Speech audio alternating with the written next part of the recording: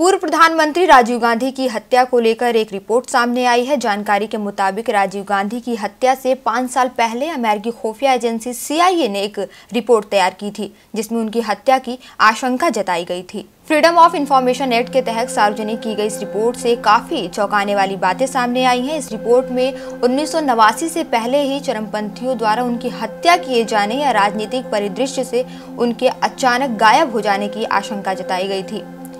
India after Rajiv नाम से तैयार की गई 23 पेज की इस रिपोर्ट पर मार्च 1986 में सीआईए के एक अन्य अधिकारी से प्रतिक्रिया मांगी गई थी। सीआईए ने हाल ही में इस गुप्त रिपोर्ट को सार्वजनिक किया है। इस रिपोर्ट का पूरा शीर्षक उपलब्ध नहीं है क्योंकि इसे सार्वजनिक करने का फैसला करने से पहले सीआईए ने कई हिस्से मिटा दिए थे। जनवरी 1986 तक सीआईए को मिली सूचनाओं के आधार पर इस रिपोर्ट को तैयार किया गया था।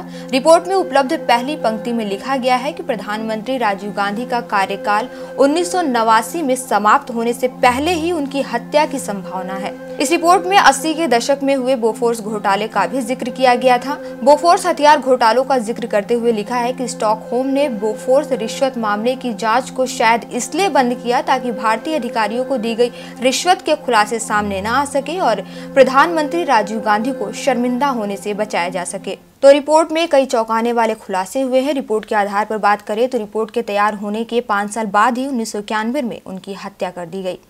देखते रहिए डीबी लाइव।